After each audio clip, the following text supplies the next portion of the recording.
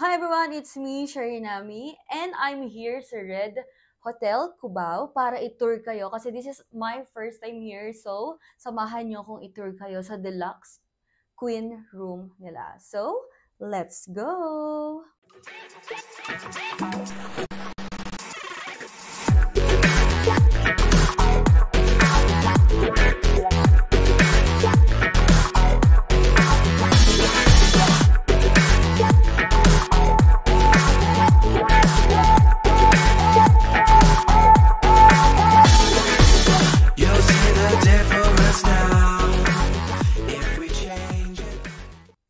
So, first of all, ito yung door nila, ang ganda. Tapos, meron silang, of course, yung mga in case of emergency, mga ex- exit plan. And then, dito i-insert yung key card.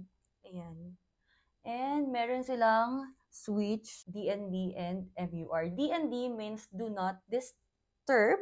MUR means pick up room. Ibig sabihin daw niyan is ipipindutin nyo siya kung gusto nyong ipalinis yung room nyo if nag stay kayo ng matagal. So, dito naman sa side na to, ayan, pasensya na makalat na siya.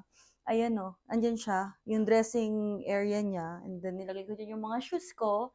And then, dito na ba tayo agad sa banyo? Dito na agad. Ligo na tayo. Hindi. So, eto lang yung... Ang ganda. Actually, ang ganda ng banyo kasi nasa Cubao tayo. Tapos, ito yung hotel na nakitaan ko na katulad ng um, bathroom ng mga five-star hotel sa Makati. So, tara. Ito yung mga switch niya sa gilid. Yan. And then, may hair dryer. And then, ang linis. Pasensya na sa gamit ko. Tapos, toilet. Ayan. Tapos, may free silang ito, toothbrush. And then, ayan. Relax, enjoy, dream. Cotton buds. Tapos, conditioner, shower gel. Kompleto naman sila. So, next naman, dito tayo. Ito yung, yan, yung mirror nila. Tapos, eh, may mga lagayan na rin ng makeup. So, di na tayo mahihirapan. Tapos, yung TV. And then, yung remote. Actually, ang nice niya nga, no? Teka, nasisilipan na pala ako. Tapos, ang kinagan, ang, kasi ano ko eh, coffee lover. So, anytime na gusto kong mag-coffee, ayan, magtitimpla lang ako. Ito yung electric kettle. Ayan. Naano ako, nakakaloko. Nag, dito pala siya direct. Ang galing. Uwi mo na nga to. na, nag-ignorante. Tapos, two, mu- two mugs. Tapos, meron silang libreng coffee. And then, stirrer. And then, this side naman, ayan. Ayan. Meron silang table and chairs. Tapos, may libre silang water. Ito yung keycard nga pala. Kanina, ayan, Red Hotel. Tapos, andito na rin, meron silang wifi and ano ha, password. Ayan. Tapos, di ba, ang ano niya, ang cute lang niya. So, pagkakain kayo, di kain kayo dyan. Tapos, yung pinili pala naming view is city view kasi gusto ko talaga makakita ko ng sunlight. And then, kasi masarap kasi mag-pictorial kapag merong direct sunlight. Ayan. So, may kita lang dito is yung Hotel 99. Ayan, Hotel 99, no? Tapos, the rest of, ano, Cubao. So, hindi, hindi to nabubuksan. At saka, ano to, non-smoking room kasi siya. So, dito na tayo sa bed area. Naman, meron din silang safety box. Anong tawag? Safe, ano? Safety deposit. Safe, safe, Sa- safety deposit box. Ayan. Tapos, syempre, wala palang laman. Tapos, ang gusto ko talaga sa bed,